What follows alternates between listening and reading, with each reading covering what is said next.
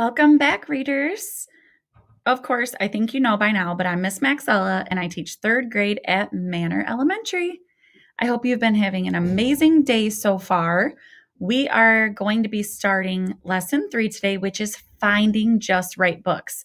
This is a very important lesson and a great way to kick off the beginning of the year. So, today I want to teach you readers don't just pluck any old book off a shelf and settle down with it. Readers have to test books. They look at them carefully, opening them up and reading just a few lines, asking themselves, is this book just right for me? So, adding to our anchor chart to make reading the best it can be, I will. We want to go over these always because these are great strategies. Find a good reading spot. Talk about books. Choose books I love. Read books like they're gold. And then the one that we're focusing on today, which is always going to be the larger one, check that books are just right and within reach.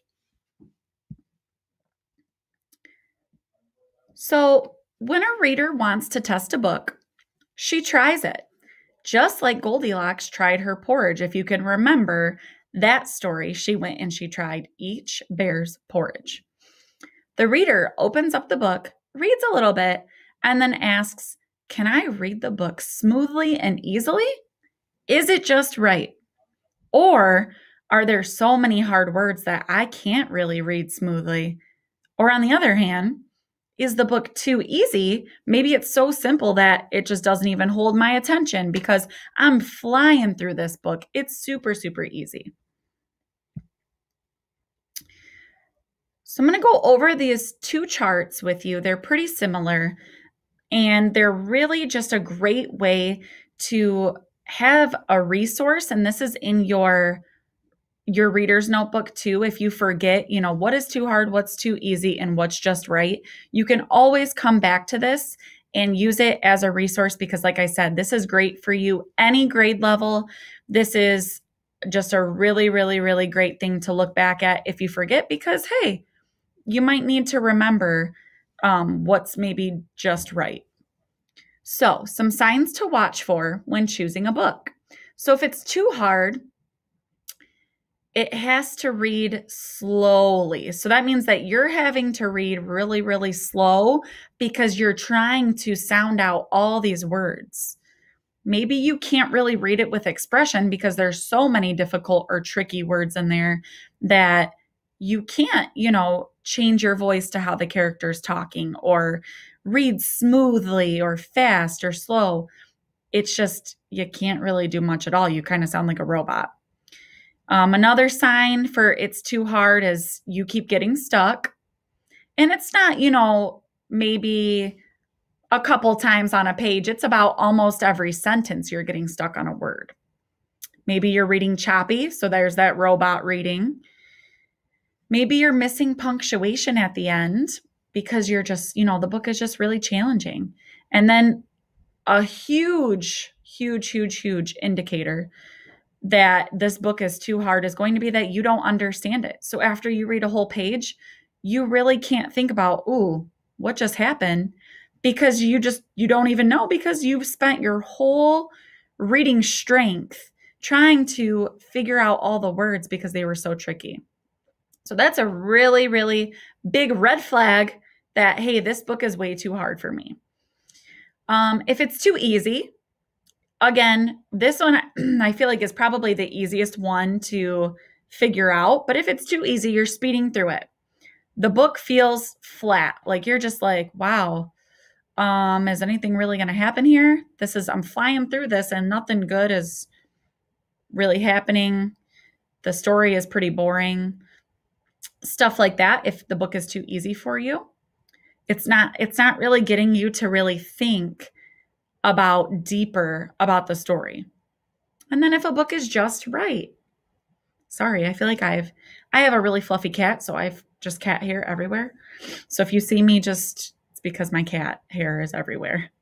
So if a book is just right these are some really important signs that a book is just right.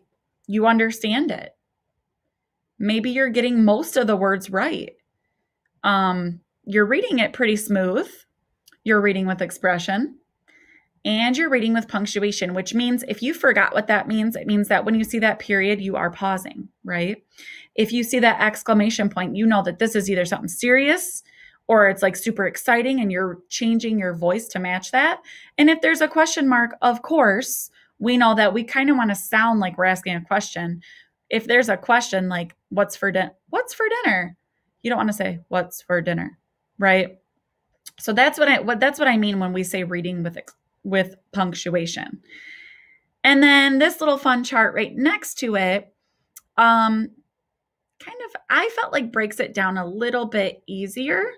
So if a book is too easy, which sometimes means it's too small, like it's super super small and you're someone just picked it up because they're like I'm going to read through this because this is going to be easy and it's not going to challenge me.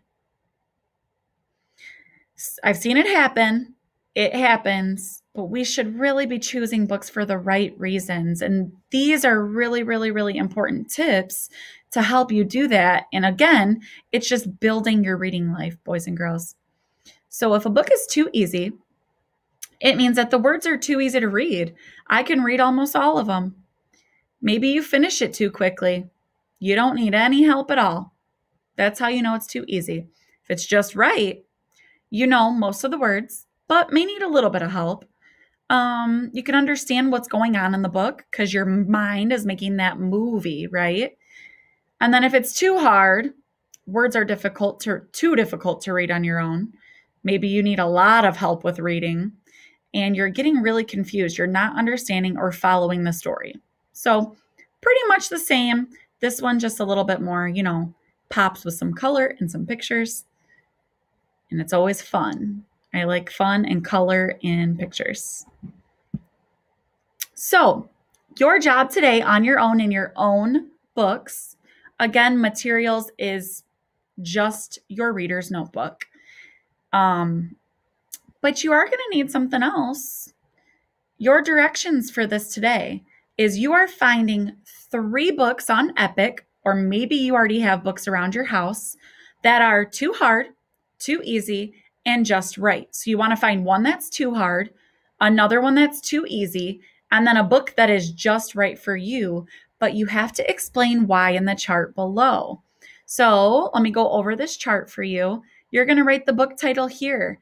If it's too hard, you're going to write why in that um, little square or rectangle. Sorry, that is not a square. So you're going to write in that rectangle why it's too hard. But you don't have to write the other two if this is the too hard book. Then, if you have your just right book, you're writing your book title and then writing why it's just right.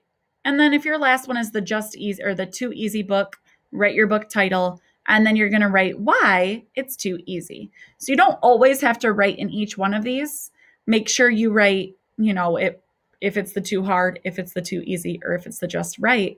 And a super cool special thing about this slide is if you don't have books around your house, make sure you check with your teacher and see what your EPIC code is because you can just click right on this and you'll see the link right there to EPIC. And then it'll take you to the website and you'll be able to explore so many books there and figure out which ones are too hard, too easy, and just right. And remember, boys and girls, if you forget, you can just click back to the charts and remember which one's too easy, too hard, and just right. Happy reading!